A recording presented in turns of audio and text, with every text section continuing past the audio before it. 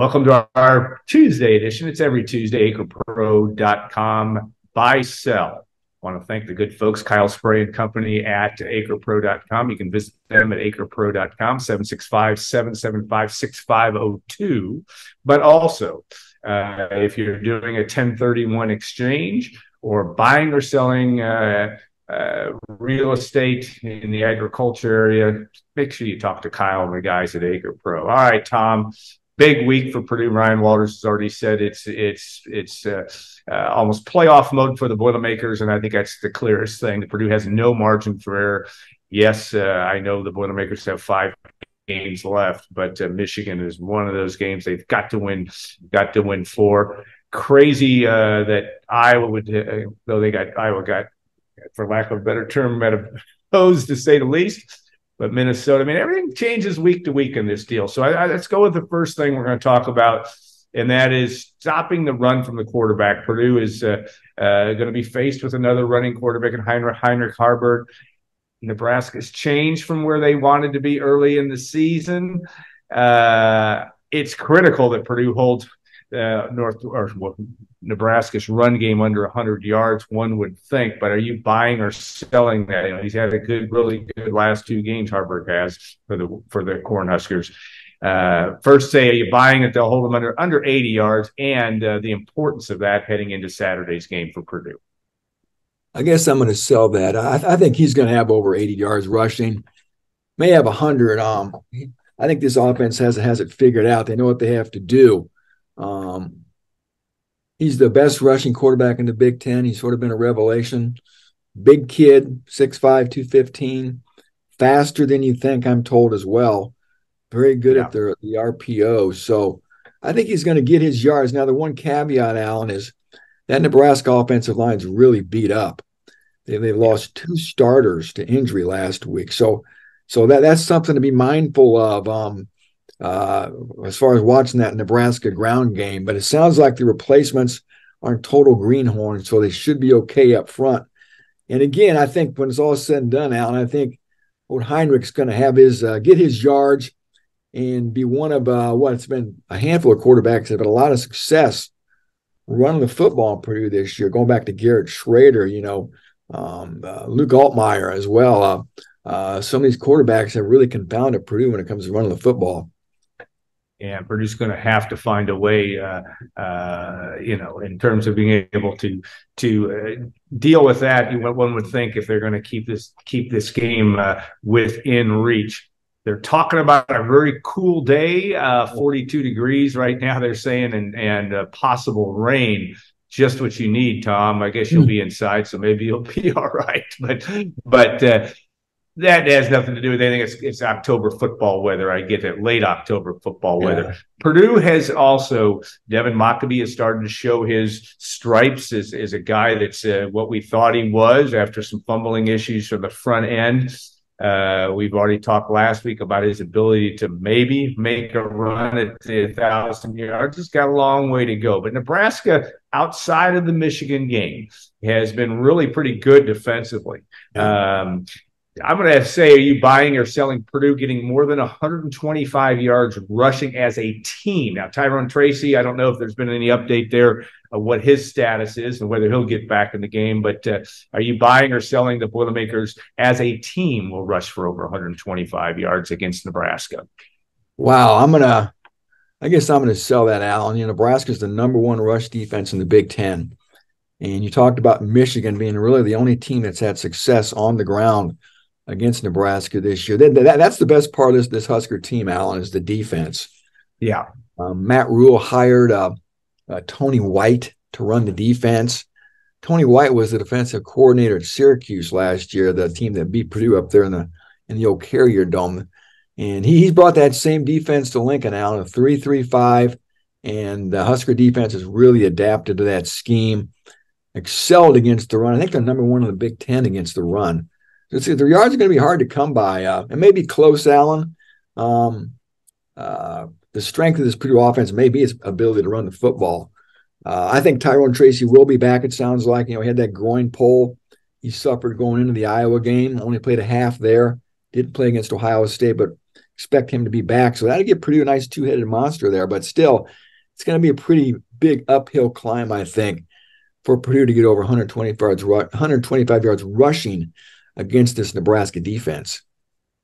It's going to be, uh, uh, I think, a necessity if Purdue's, you know, maybe another low scoring game, yeah, depending on how how the, how this one plays out. Uh, I don't even know. Uh, I, I'm, I'm the, the over under is is not very high for this one as well. So the Boilermakers started out as a uh, also that line has has gone yeah. I think a little bit more Nebraska's way, but uh, again you look at you look at also Purdue and how the Boilermakers want to attack.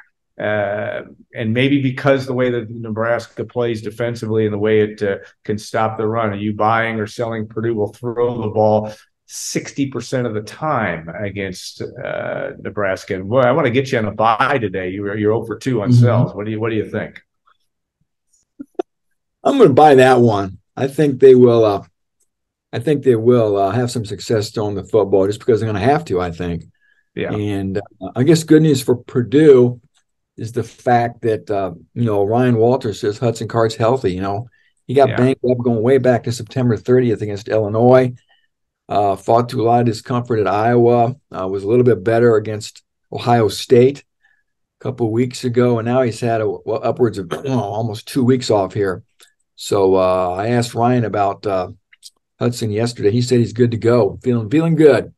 So uh, he's going to need to be good, obviously, to go into that environment and to beat a, a, a Nebraska team that's won four out of its last five games and it's feeling good want to get to bowl eligibility. They got four wins. Alan, can you believe Nebraska has not been to a bowl, I think, since 2016? It's, yeah. it's unbelievable. So they think this is a game they can win. The odds makers think it's a game they can win. They're about a three point favorite. And again, I, am buying that. I, I think Hudson Card's going to throw throw well and have to throw often. And and Purdue's going to need some big plays, Alan. Uh, they got to get some big plays in this pass game. They're not going to nickel and dime their way down the field. So uh, we'll see if Hudson and, and, that wideout core can can maybe uh, generate some big plays. All right, here's the operative question now. I don't know. After last week, and of course, uh, Minnesota's shocking win to me, shocking and maybe disputed. It's definitely disputed. Who are you buying? Yeah, to win the Big Ten West? Is it Wisconsin? Uh, could Nebraska? Nebraska beats Purdue on Saturday, and they can put themselves back in the hunt. Uh, one would think. Are you still buying? I'm going to say, are you buying Wisconsin? Who's Wisconsin's got Ohio State Saturday. Uh, they've got Nebraska uh, as well down the stretch. Uh, this is a team one would think that uh, is still the favorite, but are you in fact? Uh, I mean, Nebraska has a chance and they obviously Wisconsin's got to go to Minnesota too. Um, still got a chance, uh, you know, to be in the picture if they could beat beat Wisconsin on November 18th and and somehow win enough games down the stretch. But are you buying the Badgers for the to be the Big Ten representative in Indianapolis as as things sit? I am buying the Badgers. I was really impressed last week. You know, they, they lost their quarterback, Tanner Mordecai, got hurt.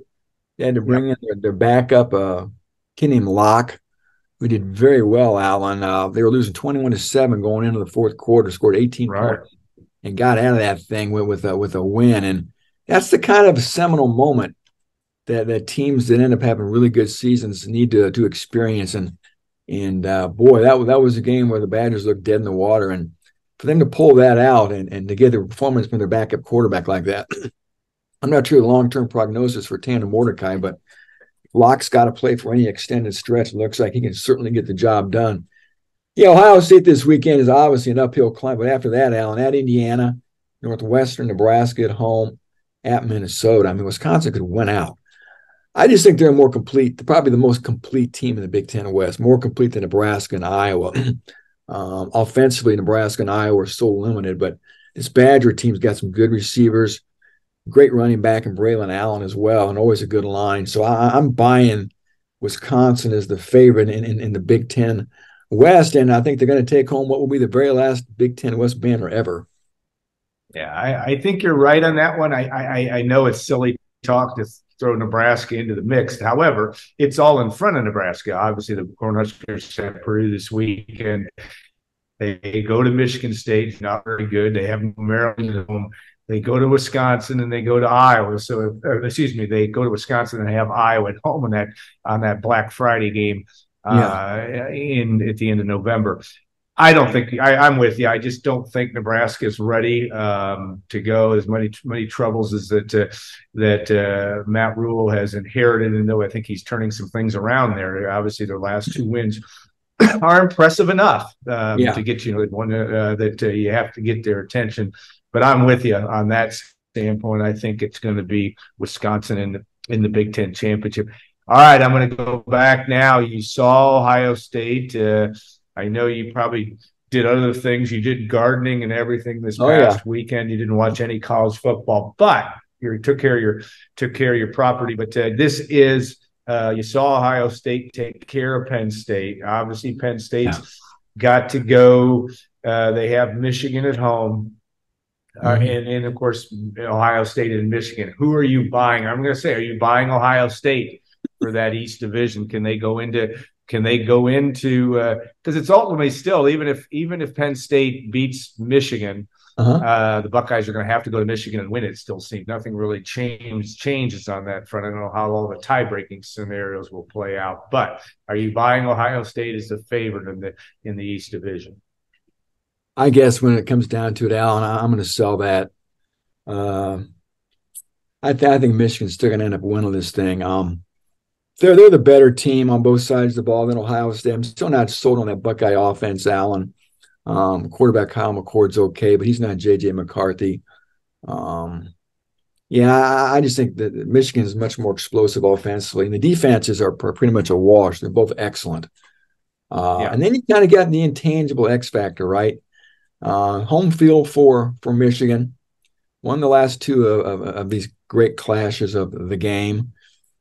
And then, of course, you have all the the, the specter of this, uh, you know, spy yeah, I was going to ask collegiate level. I mean, maybe this is something where it causes Michigan to circle its wagons. You know, Alan. Maybe instead of it being a distraction, you know, inside their their building, they they say, "Hey, man, let's prove everybody wrong." And this becomes a real um, motivating factor that they again can rally around and use as motivation down the stretch it's a story that's gaining momentum. It's going to be a big story here, obviously, for a couple of weeks, maybe throughout the rest of the year, given Michigan's status as a national championship contender. It's always going to be out there, Alan. I'm not sure if anything's going to come of it, Alan. Even if they find him guilty, what are they going to do, Alan? They're, yeah. they're, they're not going to kick him out of the Big Ten and not let him play in the playoff. That's my, that's my, that's my point. If they get caught, nothing's going to happen to them. The only thing they're going to lose is damage to their credibility, I guess, and they're going to have that cloud of taint around them, I guess. So there's something there, but there's nothing tangible. There's no tangible penalty. I think uh, they're going to suffer that's going to impact their ability to win the Big Ten and win the national championship. So, having said all that, I think this is still Michigan's ball of wax to win, and and they should be considered the favorite. Yeah, I think playing at home in November, uh, going to be hard to beat. Though Ohio State was impressive against Penn State. I thought that they, you know, that game was obviously the score was closer than the way that the game really was. Uh, uh, Ohio State uh, was able to dominate, but question about that offense. But Ohio State also still playing. TreVeyon Henderson still not back. Uh, whether that's yeah. going to going to change their situation a little bit, uh, we'll see. All right, last question and somewhat facetious in nature. Uh, weather may be an issue. It always can be this time of year. At least it's going to be cool. Mm-hmm. Will, are you buying or selling that Purdue's going to make a field goal this week, and I'm just, that's a good Ben one. Freehill. Ben Freehill will, and whether he's back, I know you've reported and written about that as well. But will Purdue make a field goal? And if not, will it be Caleb Krockover? Who will it be? But I'm gonna I'm gonna start with plus or minus. Will they make a field goal this weekend? I'm gonna say I'm I'm gonna sell that. I'm gonna say they're not gonna make a field goal. Um, yeah, we'll see. I asked Coach Walters about Freehill, and it sounds like you know if he's healthy, he's he's gonna he's going to be the guy. He's missed four games this year, but Allen, it's not like he hasn't had his issues too, right? Yeah, no question. He wasn't, he wasn't exactly Jan Stenerud or or uh, George Blanda or Lou Groza. use some real dated references for you. Yeah, but uh, I just think it, has been um, it's been a muddled mess, to use as kind of words as I can. They're three and nine on the season, Allen. Yeah, the worst percentage in the Big Ten, thirty three percent. I even I can do that math They've uh, missed two extra points. No Big Ten team has missed more. I don't need to chronicle the struggles. Fans realize the issues Purdue's had kicking field goals. And I was thinking the other day, talking to some people, you know, they got four games they got to win out of five down the stretch, Alan. You got to think if, if they're going to do this, there's going to be at least one of those games, maybe two. You have to hit, probably maybe have to hit a, hit a big kick to win. Yeah. A lot of times win these close games against evenly matched opponents. So that's something Purdue's got to get figured out. So maybe, maybe Freehill can get everything straightened out here if, if he kicks on Saturday as expected. I think he's going to make the trip. Um, and who knows if they'll, if they'll give Macias another chance. I don't know how you want to handle that, Alan. He had a just a horrific afternoon against the Buckeyes, missing those three kicks. You wonder where his mind is. One school of thought is throw him back out there, man. You know, there's you don't want to sit there and let your head play with you. Just throw somebody back in the pool and make them try to swim again. So who knows if they maybe they will give him another shot. And then you talked about Caleb Krockover, the only one of the three who has not attempted a field goal this year. He's kicked two extra points. Doesn't have a big leg, Alan, but from all reports are the kid's pretty accurate, 40 yards on in. Maybe he could be like a Mitchell Fineran type of a kicker who's, again, not a big boomer, but very accurate. And, and again, from those kicks you want to be able to make from 40 yards on in. So it's a soap opera that no coach wants to see play out here. Struggles in special teams as far as field goal kicking goes. And uh, I think in the end, Purdue's going to try to avoid having to send this kicker out there, uh, just given what's gone on. Again, if the conditions are poor, Allen, and, and down in distance isn't too far. Maybe Purdue opts to try to go for for some fourth downs here uh, when, when it's in Nebraska territory instead of opting for the field goal. This is very for Purdue fans very familiar territory. Look at 2012, Danny Hope uh, made a run to a bowl game, having to win three. Kind of also ran games in mm. and to get to the bowl 2017 jeff Brohm had to win all those games down the stretch 2018 they had to win the games down the stretch they made field goals in 2012 to get there at the hmm. buzzer to beat Iowa. Uh, is it Paul Griggs? And I think 2018 uh, they hit a field goal, and I'm drawing a complete bank on the Spencer. Oh yes, Spencer, Spencer Evans. Spencer Evans. Spencer Evans kicked the game winner against Iowa in 18 that. Purdue had to have, or it would not have gone to a bowl. I think your analysis is right. Uh, and and Purdue's had that schedule when the Northwestern and Indiana have been at the end of your schedule. You're always going to have a little bit of an easier road. Not always, but it has been that way of late. So that's an interesting dynamic. I'm with you 100. Uh, percent I don't know if I'm buying or selling anything, but they're going to have. To, I think it is going to come down to if you're going to make a run at uh, uh, getting to even if you're making a run at getting to five wins here, you're going to have a game where a yeah. field goal is going to come down and make the to, at the end for Purdue. So real uh, quick, Al, say, yes, sir. You the over unders 39 and a half. Okay, I'm going to say what. Uh, all right, give us your give us your guru. Are you buying? Are you buying under? I'm buying that. I'm buying that. I, I think the first team to 24 wins this game. I think points are going to be hard to come by. The weather's going to be a factor, and uh, the offense, neither offense is that that I guess overly dynamic, and especially for Purdue going against that defense. So I yeah, I'm buying the notion over under under 39 and a half for sure, I think, between these two teams. All right, well said, and uh, always an entertaining discussion uh, for that. Uh, we won't do the over under of how many people will be watching Purdue ba- trying to watch Purdue basketball on, on yeah. live stream while Purdue playing Arizona, or excuse me, Arkansas, the exhibition yeah. game, well, pretty much in the second half of this football game, is if my timing is correct. Uh, but FS1, Purdue, Nebraska, 3.30 kick. You've got night football in Michigan next week. I know that yep. delights the living heck out of you from that standpoint, but you, that's going to be good from that standpoint. Uh, uh, the Boilermakers will be getting some uh, attention, at least uh, here in the next couple of weeks. All right, Tom, thanks so much. I want to thank Kyle Spray and the good folks at acrepro.com. Remember that number, 765-775-6502, acrepro.com. We'll be back next week and buying or selling the biggest upset in college football when Purdue yeah. goes up to Michigan and wins. You heard it here first. you go. Uh, maybe not, but you never know. All right, guys. Uh, Tom, thanks so much, and we'll see you next week. We'll see you before then, but uh, we appreciate uh, your expertise on acrepro.com. Buy, sell.